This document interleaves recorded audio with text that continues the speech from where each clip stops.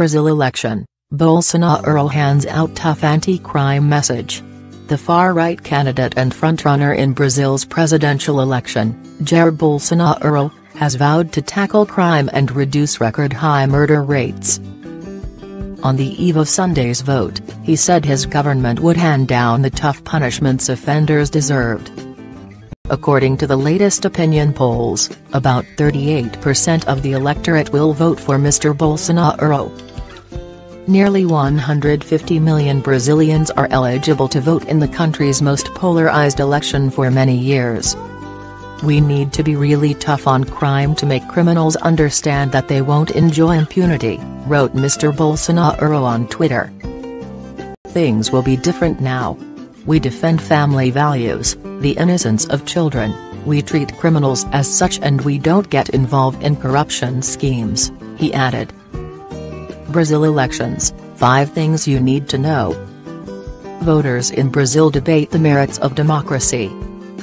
If no candidate gets more than 50% of the valid votes, there will be a second round in three weeks' time.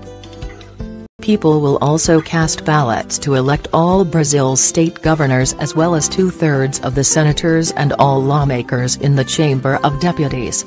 More 1,000 seats in state legislatures across the country are also being contested, military dictatorship, Mr. Bolsonaro has missed the final part of the electoral campaign, after being stabbed at a campaign rally in September. His main rival is the left-wing candidate for the Workers' Party, Fernando Haddad. They are both expected to advance to the second round runoff on 28 October. I don't believe in violence, in military dictatorship or the lack of liberty, tweeted Mr. Haddad.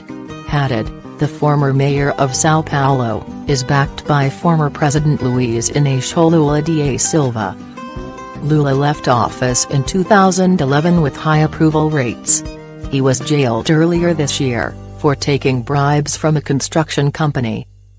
He denies the allegations and says they were fabricated to prevent him from running for office again.